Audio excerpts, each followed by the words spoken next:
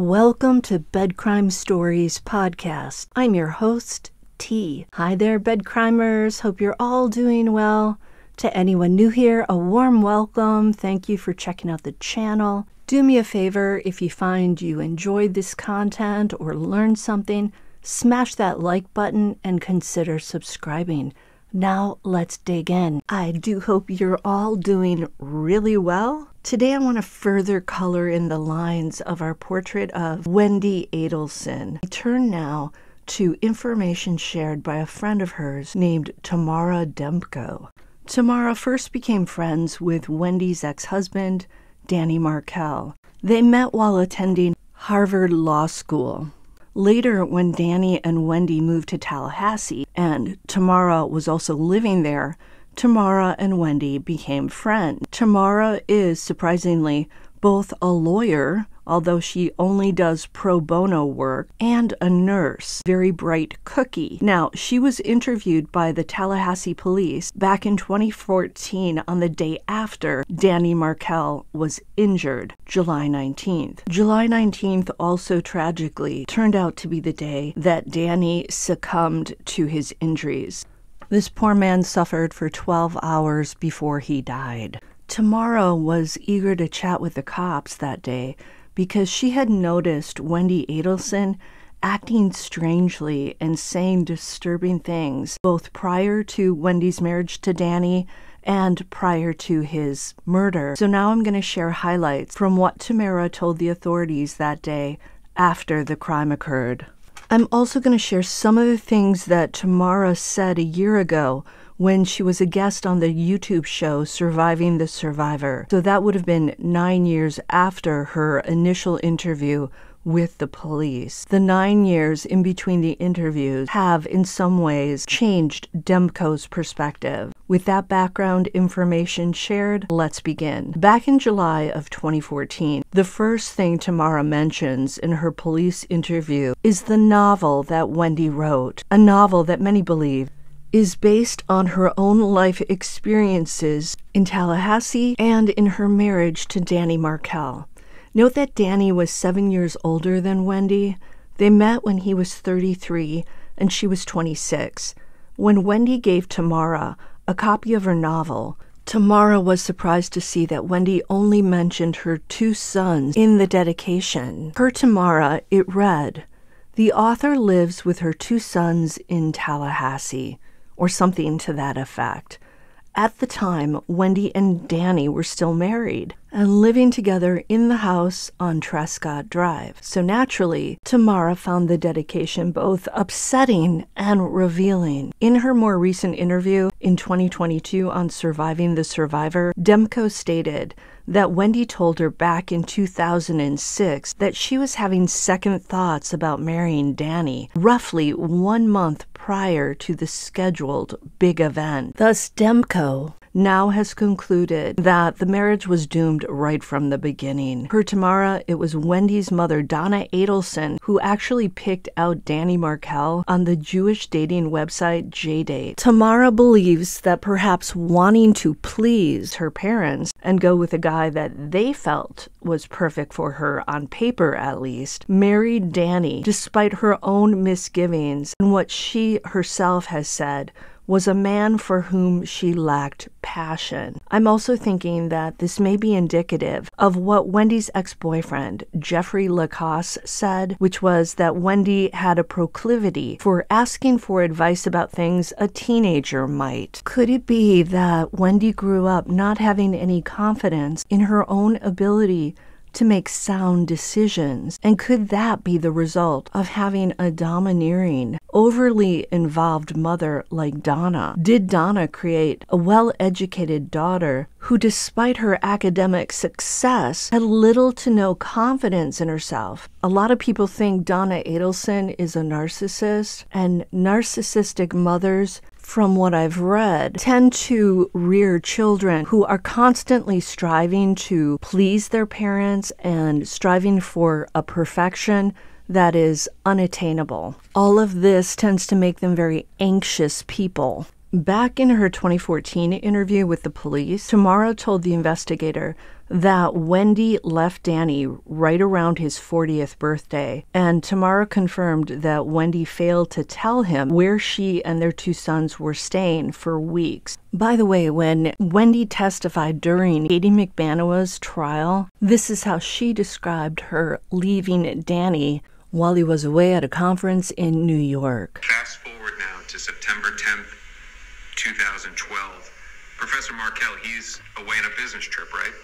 Yes, He's in New York City at New York University, right? I believe so, yes. And he's doing a presentation. I, I don't know what he was doing. Your husband at the time was in New York to give a presentation. You knew that, right? I knew he was in New York. I didn't know if he was attending a conference or giving a presentation, but he was in New York for work. Now, you had not communicated with him for two days. I really don't remember. You text him at around 2.30 in the afternoon, right? Right before he's about to do the presentation. I really don't remember. But you do remember dropping the bomb on him, don't you? Telling him that you wanted a divorce. So I did not drop a bomb on him. We'd been in therapy for several months beforehand where I told him several times I wanted a divorce. You say it's not a bomb, but you agree with me that he begged you to reconsider. He was very upset and yes, wanted me to reconsider, but In that phone call, he's begging you to reconsider. Please don't leave. Please don't break up our family, right?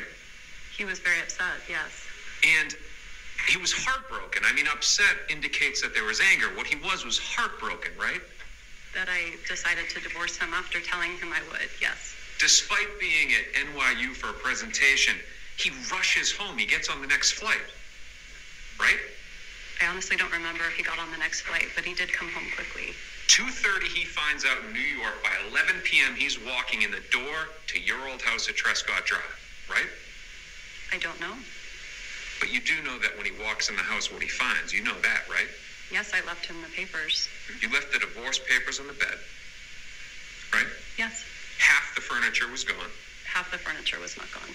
A good amount of his stuff was gone. Nothing of his was gone. The boys' stuff was gone, right? Some of the boys' things were gone. I'd taken enough so that I had for the boys, but no, You were gone, I, I was gone, yes. and so were his boys. Um, his boys were not gone. He saw them the next day, and they would not have been awake if he's coming home at 11 p.m. Let- Let's let's stay on topic here. I'd When he walks in the when he walks in the door, the boys are not in the house, right? Correct. And you did not tell Professor Markel where you were taking the boys. He may have seen him the next day, but you did not let him know where you were going to be staying with his boys. With our boys? Yes. So you agree with me that they're also his. Of course they're his. And he should be entitled to know where his wife is taking his children. Absolutely. That's not all you took, is it? Excuse me? You two had a joint checking account at Schwab, right? We did. And you went into that account before you dropped the bomb, and you took out half of that account, right? Correct. Roughly $350,000. Half. Yes. I'm sorry I let that go on a little too long, but I can't stop watching this. This lawyer is amazing, and Wendi Adelson is fascinating. Her ability to spin a fib is, in my opinion, quite well honed.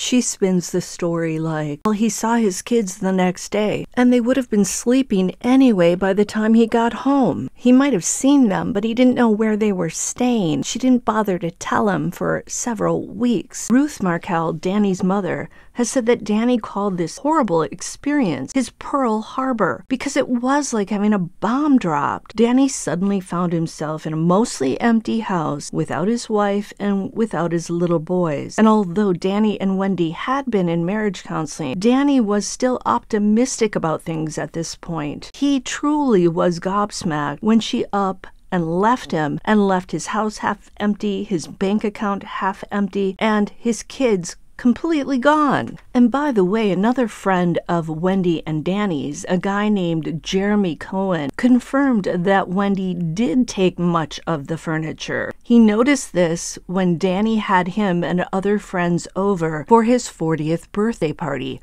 right after his Pearl Harbor day. Danny, despite his sadness over the breakup of his marriage, threw himself a birthday party, and Jeremy Cohen noticed that much of the furniture was gone. And Tamara Demko added that Danny had to spend around $10,000 refurnishing the house to make it livable. So, although Wendi denied emptying the home of its contents while testifying, she was not being 100% truthful. Again, she's very skilled at spinning her truth. By the way, Jeremy Cohen also described Wendi as being someone who could be out with Danny on a double date with him and his wife, and she could be smiling and acting like everything was wonderful and copacetic. But behind Annie's back, she would have just told Jeremy's wife that the marriage was crumbling and in trouble. So Wendi has the ability to present herself as perfectly happy when on the inside she's anything but. And I do recall Wendi's convicted brother, Charlie Adelson, saying to his mother, Donna, that Wendi has trouble confronting issues directly with other people. And I also recall Ruth Markel saying that Wendi presented herself as a very warm and friendly person when they first met her. Back to what Tamara Demko said in her 2014 interview with the police. She also told them that when Wendi filed her motion to relocate to South Florida with her and Danny's sons, Danny made it very difficult. Demko is the person who told the cops about the injunction that Danny got that prevented Wendi from making the move to be closer to her parents in South Florida. And it sounds like once Danny saw there was no hope of a reconciliation with Wendi, he went into fighting mode. And it sounds like Danny became obsessed with filing motions against Wendi and he was even once scolded by the judge for filing a 23 page motion. Danny loved to debate, that was a core part of his personality. And in law school, you learn how to argue from the greats. Tamara said that the injunction shuffled the divorce into an even more bitter phase. Per Tamara, Wendi did feel trapped in Tallahassee. Demko also confirmed that Wendi had taken some of Danny's uncle's family heirloom jewelry and she refused to give it back. This included a two carat Holocaust diamond that the uncle's wife had managed to escape Nazi Germany with. And by the way, per Danny's mother Ruth, Wendi still has these jewels to this day. Wendi, give the jewelry back to Ruth and Phil Markel. It's the least you can do at this point. Demko said in 2014 that she came to realize Wendi didn't love Danny, but Tamara didn't have the heart to tell Danny. Tamara also brought up Wendi's boyfriend, Jeffrey Lacasse, in that 2014 interview. Tamara said that as late as June of 2014, Wendi was still raving about what a great guy Lacasse was. But later in July, after Danny's death, when Tamara attended his memorial, she asked Wendi why her boyfriend wasn't there supporting her. Wendi replied that there is no boyfriend. So within a month, Wendi went from singing Lacasse's praises to saying that she no longer had a boyfriend. It's like she just ghosted him out of her life. It sort of looks like Lacasse in Wendi's mind had served his purpose at this point. And when that was over, she jettisoned him. I wonder if Wendi ever had genuine feelings for Jeff Lacasse or for anyone else for that matter. Tamara in 2014 also told the cops that Danny's new girlfriend, Amy Adler, also had strange feelings about who might have arranged for Danny's death. Amy was even afraid to travel to Tallahassee for the memorial. Tamara also described going to Wendi's house the day after Danny was injured. Demko said that when she arrived, he found Wendi with two friends she'd never met before or heard of. Wendi immediately said to Tamara,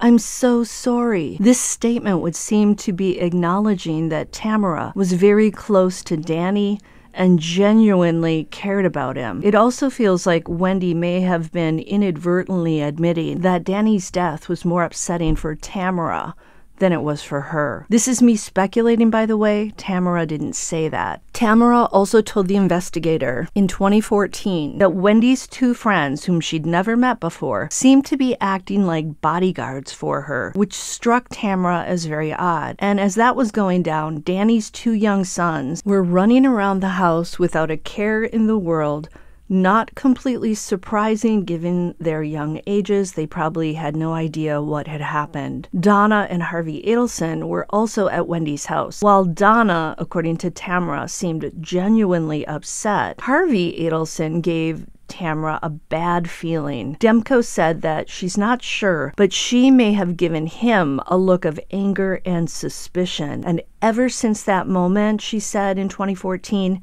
he's been unable to look at me. This makes it sound like Tamara had a gut feeling that Harvey may have been involved in the crime or at least had knowledge of it, which is also a crime, by the way. This is me speculating, however, Harvey has not been charged, not yet. Demko also found it strange that Wendi's brother Charlie did not attend the memorial. At his trial, Charlie said he didn't go because he was too upset. But now that he's been convicted for playing an integral role in the crime, it's clear Charlie just couldn't deal with having to put on a somber face and pretend like he cared or that he was upset and that he had no idea who could have done this. I wonder what Charlie would have been like had he been at the memorial. Sweaty, jittery? Would he have hung out away from the crowd? Would he have taken a Xanax before the memorial? In 2014, at this point in her interview with the cops, Demko blurted out that she didn't believe any of the Adelsons actually pulled the trigger. She was saying, in not so many words, that she believed the Adelsons were behind the crime, but had found someone else to do the dirty work. How right Demko was. She solved the crime in that moment. But it would take two more years to discover Sigfredo Garcia and Luis Rivera and their roles in the crime, and then even more years to get the evidence proving Charlie Adelson's involvement and now Donna Adelson's alleged involvement as well. Until the next time on Bed Crime Stories, hey, smash that like button, let me know what you think, and I'll see you next time.